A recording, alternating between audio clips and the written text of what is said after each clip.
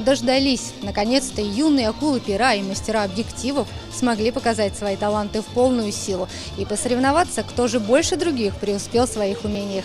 Впервые для ребят прошел конкурс молодежной журналистики, и мы вот-вот узнаем имена победителей. Рисовали, пели, танцевали, покоряли грации в художественной гимнастике. В каких только конкурсах не участвовала молодежь из Щелковского округа. А что же насчет журналистики? Профессия для ребят сейчас привлекательная, и многим хочется с чего-то начать. Теперь не проблема. В конце прошлого года 50 молодых людей в возрасте от 14 до 30 подали заявки на участие в первом конкурсе молодежной журналистики «Медиастарт». Пусть они сами своими ногами с детства и до взрослой жизни пройдут и посмотрят, как эта профессия дается, легко или трудно. Где в ней истинные ценности, а где в ней иногда ложная скромность. Ведь журналист, он дает не только оценку событиям, он еще и дает оценку каждому человеку. И главное, не ошибиться в этой оценке блеснуть уже кое-какими накопленными знаниями, а кому-то раскрыть талант впервые. Не это ли отличный старт в мире медиа? Поле для творчества организаторы конкурса тоже предоставили. Можно было поучаствовать сразу в нескольких номинациях – видеоработа, фоторабота, печатная публикация. А также получить приз зрительских симпатий на основе голосования в сети. Все работы выложили в специальной группе, где каждый желающий смог оценить талант ребят. К победителям же требования более строгие, которые уже выдвинуло профессиональное жюри. В нем не только только журналисты, но и работники учреждений культуры и образования, представители администрации. Очень важно э, молодым людям, конечно же, попробовать себя в этой очень нужной профессии. И, конечно же, это дает им шанс, безусловно, шанс на предмет того, чтобы э, поступать э, в высшее учебное заведение по этому направлению, может быть, работать в телерадиокомпании «Щелка», может быть, и на федеральных каналах. Организаторы предложили ребятам на выбор несколько тем. Тут уж кому что ближе. Рассказывать об исторических достопримечательностях, о выдающихся местных жителях или раскрыть то, чем особенно увлекаются сами конкурсанты. У кого это вышло лучше всего?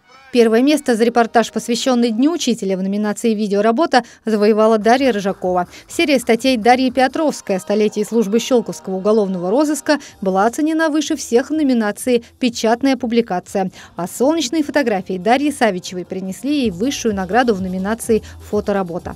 Жюри также не смогло пройти мимо работы самой юной начинающей журналистки, 13-летней Анны Синалицыной, моя учительница. Несмотря на возраст, девочка в конкурс попала и получила награду от Союза журналистов Подмосковья в номинации «Дебют». И так уж нам понравилось, как Аня берет интервью, что мы решили, а пусть-ка юная журналистка еще раз покажет свое мастерство. Ты победила в номинации «Видеоработа». И собираешься ли ты дальше продолжать э, работать в сфере журналистики и какие цели ты ставишь на будущее? А, да, здравствуйте, я победитель этого конкурса и э, в, дальше в будущем я планирую стать журналисткой. А, для этого я очень много стараюсь, а, пытаюсь как-то развиваться в этой сфере. В какой момент ты начала заниматься съемкой и фотографией? Э, съемкой я начала заниматься относительно недавно, ну, с 2015 года, именно профессионально. Не знаю, когда я фотографирую, я хочу запечатлеть э, такие тонкости, которые обычно нельзя заметить. Даша, вы написали отличную, достойную работу, и не могли бы вы...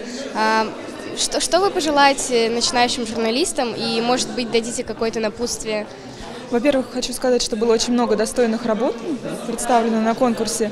И хочется, чтобы и на следующий год тоже люди смело пробовали свои силы, не боялись. Я думаю, что одно из главных качеств журналиста – это смелость.